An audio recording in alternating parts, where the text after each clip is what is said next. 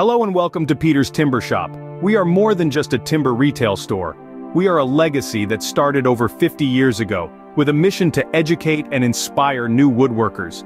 Over the years, we have become a trusted hub for both newbies and seasoned craftsmen, providing quality wood and sharing our in-depth knowledge about the craft. To help you hone your woodworking skills, we've initiated a series of educational videos on a range of topics, Today we kick off with a deep dive into the fascinating world of wood grades. We're excited to have you join our community of passionate woodworkers. So let's roll up our sleeves and get started with today's topic, mastering wood grades. We're glad you're here at Peter's Timber Shop. This spot is your ultimate endpoint for everything related to woodworking.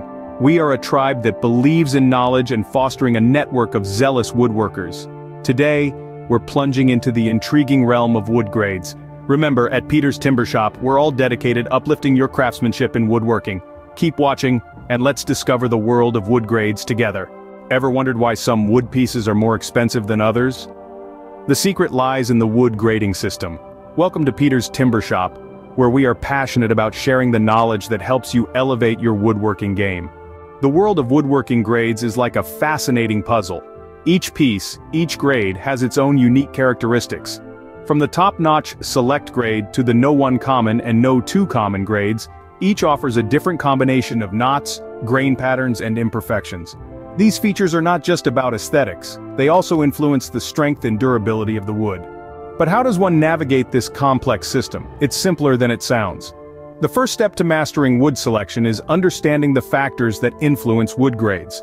Knots, for example, are natural imperfections that can add character to a piece but might also affect its strength. Grain patterns, on the other hand, can transform a simple piece of furniture into a work of art.